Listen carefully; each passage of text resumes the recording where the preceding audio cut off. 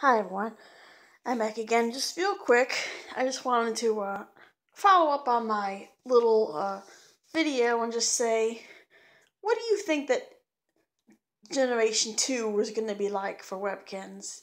What do you think? Personally, I hope it'll be just like the Patchy Puppy. Nice, colorful, cute, maybe a little bit more floppy, even though I can't complain much. The uh, Patchy Puppy's got enough of a floppability to be cute. I love the Patchy Puppy. Um, this is actually also kind of a message for Ganz. Ganz, if you could continue making plushies that are kind of like this, I think I, as a as a fan of yours, would really be appreciative. And as for that, uh, that's basically all I really have to say. This is just my uh, hopes for the future that when uh, Ganz decides to bring Webkinz back.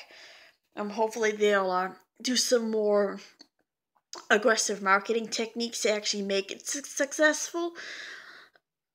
Relying on word of mouth, if you want to know what I think, uh, it's questionable. Maybe that's why um, all this is taking place.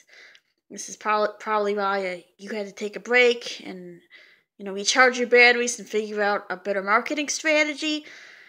I definitely would consider, you know, some online advertising, maybe an actual television commercial or two, just to say we're back. The next generation of plushies is coming to uh, a retail store or whatever soon.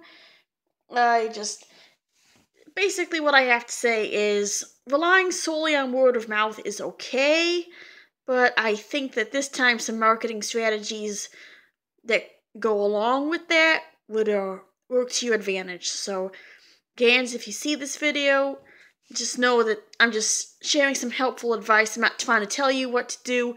I'm just giving you advice for your situation. That's all. Thanks for watching, and I uh, I will see you guys again soon. Bye, everyone.